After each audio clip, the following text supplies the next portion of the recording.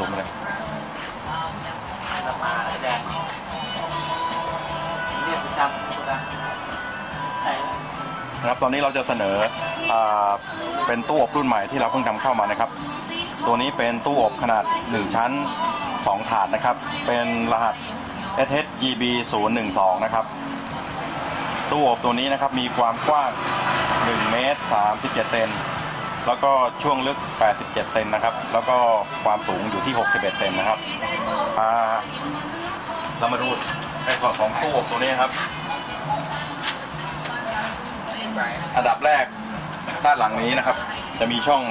ต่อแก๊สออกมานะฮะ เราใช้สายแก๊สต่อจากตรงนี้นะครับ หัวปรับแก๊สใช้หัวปรับแรงดันต่ำนะครับ ส่วนตรงนี้จะเป็นด้านข้าง ด้านข้างจะมีปุ่มปลดตรงนี้ครับเป็นเป็นปุ่มปุ่มล็อก เราสามารถปลดล็อกตรงนี้แล้วก็เปิดฝานี้ออกมานะฮะชุดนี้จะเป็นชุดคอนโทรลของตู้นะครับจะมีพัดลมคอนโทรลไฟบนและไฟล่างนะครับพัดลมตรงนี้สามารถปรับได้นะครับ แต่เบื้องต้นเราได้ปรับจากโรงงานของเราออกไปแล้วนะฮะแต่ถ้าเกิดว่ามีปัญหาในเรื่องของไฟไม่เสถียรเราสามารถปรับช่องลมของเราได้ ไฟช่องลมที่เราปรับไปจากโรงงานเราจะตั้งไปอยู่ที่ประมาณ2ถึง2.5 อยู่ประมาณนี้นะครับ ซึ่งเป็นระดับที่ไฟเสถียรที่สุดนะครับที่เราปรับไป แต่ถ้าเกิดว่าลูกค้าไปใช้แล้วความดันของก๊าซที่แต่ละบ้านแต่ละหัวปรับอาจจะไม่เท่ากันก็สามารถปรับได้นะครับอันนี้เราก็วิธีปิดก็เข้าไปแล้วกดล็อกตรงนี้นะครับ ทีนี้เรามาดูหน้าเครื่องนะครับหน้าข้างในจะเป็นด้านในจะเป็นอย่างนี้นะครับ มีถาดแถมให้สองถาดนะครับ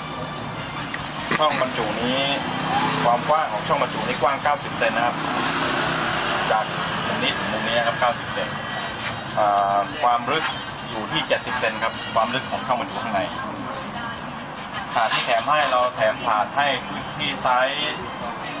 61คูณ41 เซนนะครับ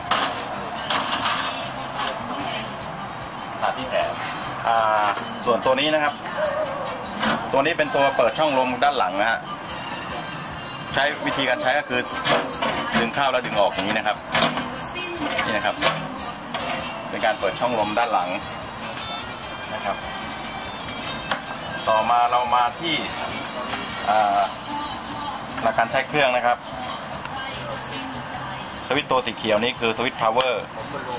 เมื่อเปิดขึ้นมา ตัวเลขจะขึ้นสวิตช์ตัวนี้คือสวิตช์ตัว timer ครับตัวตั้งเวลา มีนาฬิการตั้งเวลามาให้นะ เราจะใช้ก็ได้ไม่ใช้ก็ได้นะครับ ถ้าเราใช้แล้วก็เปิดสวิตตัวตัวตั้งเวลาตัวนี้ สวิตตัวนี้คือสวิตไฟไฟส่องสว่างข้างในนะครับ อย่างนี้นะฮะสมมติว่า ถ้าเราเปิดสวิต ไฟจะมีไฟข้างในครับนี่เราจะลองเปิดเครื่องนะครับตัวนี้เป็นตัวสวิตช์เปิดไฟบนนะครับ ส่วนตัวนี้เป็นตัวสวิตช์เปิดไฟล่างอันดับแรกเราลองเปิดไฟบนดูนะครับ เราตั้งอุณหภูมิไว้ที่ 200 องศานะครับ เครื่องก็จะเริ่มทำงานแล้วฮะ โดยที่ไฟออนตัวนี้จะโชว์อยู่นะครับ ไฟล่างนะครับ แล้วก็เปิดที่200องศา ไฟออนตัวนี้จะโชว์อยู่นะครับ เราลองมาดูไฟบนที่ที่ที่ติดนะครับ อันนี้คือไฟที่ที่ที่ทำงานติดเรียบร้อยแล้วนะครับ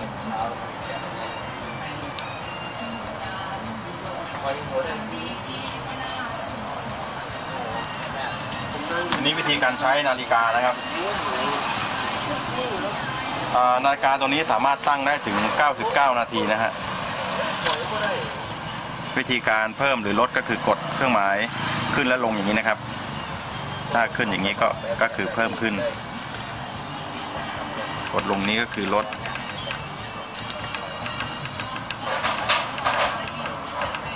นะฮะเดี๋ยวเราจะลองตั้งไว้ที่ 1 นาทีนะครับ เมื่อเราเมื่อเราตั้งเมื่อเราตั้งนาฬิกาไว้ตามตัวเลขที่เราตั้งไว้สมมุติว่าเราตั้งไว้ 1 นาที ตรงนี้จะมีปุ่ม start stop นะฮะ เราก็กดสมมติเราตั้งหนึ่งนาทีนะครับ เราก็กดสตาร์ทจะมีไฟกระพริบตรงนี้นะครับ นั่นคือนั่นคือการทำงานของของเครื่องของนาฬิกาที่ที่เริ่มจับเวลานะครับ เมื่อหมดเวลาหนึ่งนาทีเนี่ย จะมีเสียงเตือนเสียงร้องปี๊ดปี๊ดปี๊ดเตือนขึ้นมานะครับ อันนี้เราลองตั้งหนึ่งนาที แล้วเดี๋ยวจะลองดูนะครับ ว่าเมื่อหมดเวลาแล้ว เครื่องจะมีเสียงร้องลักษณะยังไงนะครับ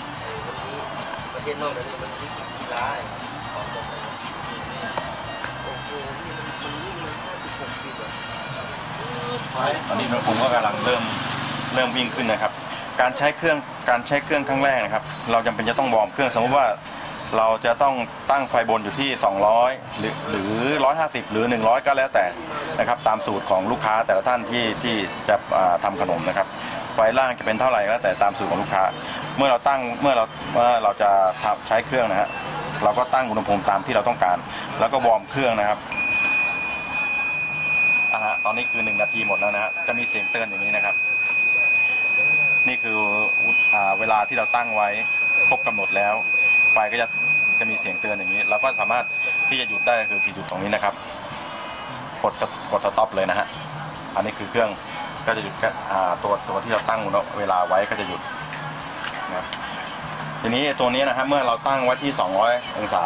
สมมติเราตั้งตรงนี้บนล่างเท่ากัน 200 องศานะครับ เมื่อเราตั้ง 200 องศาเนี่ยเราจำเป็นต้อง warm เครื่องเพื่อให้เครื่องเนี่ยไฟบนไฟล่างเนี่ยมันเสถียรเท่ากันนะครับ ใช้เวลาในการตั้งเมื่ออุณหภูมิมันถึง 200 องศาเนี่ยใช้เวลาสักประมาณ 20 นาทีนะครับเพื่อให้เพื่อให้ไฟมันสมูทอยู่ที่ 200 องศาเพราะว่าเวลาเครื่องมันมันตั้งมันเปิดครั้งแรกเนี่ย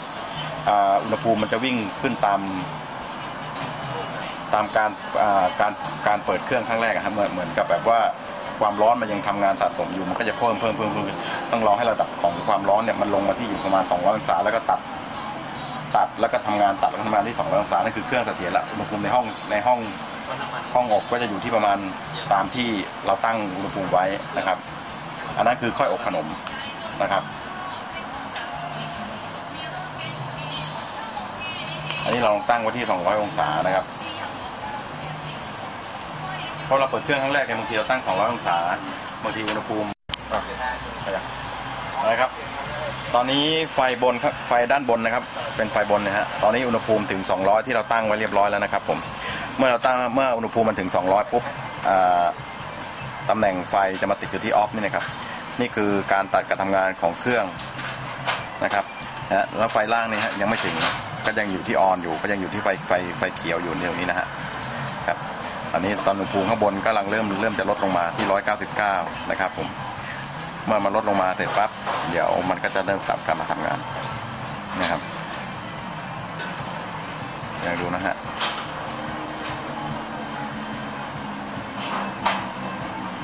มีอีกจุดหนึ่งที่ฟันขึ้นตรงนี้นะครับผม อันนี้อยากแนะนำลูกค้าครั้งหนึ่งนะครับว่าถ้าเราใช้เครื่องครั้งแรกเนี่ยครับเพิ่งเราได้เครื่องใหม่เนี่ยครับ ให้เราทำการเผา คือเปิดเครื่องวอร์มไว้อย่างนี้นะครับผมสักประมาณ 2 ชั่วโมงนะครับ เพื่อให้เผาน้ำมันที่มันเคลือบอยู่ด้านในนะครับ ข้างในนี่จะมีน้ำมันเคลือบ ซึ่งเป็นเคลือบอ่ากันสนิมกันอะไรไว้ข้างในเนี่ยครับเราต้องเผาทิ้งไว้ให้หมดทำความสะอาดโดยใช้ผ้าเช็ดก็ได้นะครับ เพื่อให้มันลดน้อยลง แล้วก็เผามันทิ้งไว้จนจนควันที่อยู่ด้านในเนี่ย มันระเหยออกหมดไปนะครับอตอนนี้เครื่อง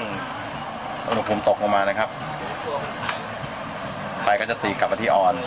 เพื่อทำงานทำงานต่อไฟไฟล่างไฟบนนี้ก็จะติดนะฮะนะครับ ตอนนี้ไฟล่างเริ่มดับแล้วนะครับ ผมผมตั้งไว้ที่ประมาณไม่ถึง 200 190กว่านะครับตอนนี้ไฟไฟล่างดับแล้วนะฮะก็ทำงานก็สลับกันอยู่ลักษณะอย่างนี้นะครับ ผมส่วนสวิต ปิดเปิดไฟตัวนี้นะครับ ตัวนี้ตัวนี้จะไม่ได้ไม่ได้ไม่ได้เปิดค้างนะครับ จะเป็นลักษณะของคือกดแช่เพื่อที่จะดูขนมด้านในนะครับ เวลาเราประกอบอาหารหรือทำขนมอยู่นะครับ ถ้าเราปล่อยมันก็จะดับลักษณะอย่างนี้นะครับ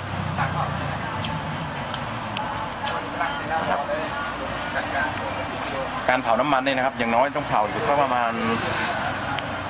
ผมเคยเทสอยู่ประมาณเผาสักสองชั่วโมงนะครับน้ำมันก็จะระเหยหมดนะครับ แล้วก็เปิดตู้ทิ้งไว้อย่างนี้เลย เพื่อให้ควันในการเผาไหม้ของน้ำมันมันระเหยออกไปหมดนะครับเพราะไม่งั้นมันอ่าน้ำมันตรงนี้จะมีค่อนข้างจะมีกลิ่นเหม็นนิดนึงนะครับลูกค้าไม่ต้องตกใจนะครับเผาน้ำมันให้มันระเหยหมดนะครับเข้าอุดรเพิ่ม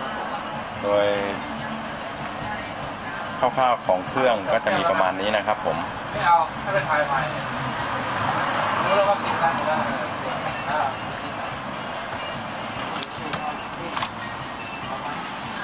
ล้อล้อสามพันรอรับเลยสามไม่ได้วันนั้นต้องมีตังค์ได้แล้วทำให้แค่สี่เออเอาแค่สามพันเนี่ย ป่องด้านหลังจะเป็นป่องระบายควันนะครับ อันนี้ถ้าลูกค้าอยู่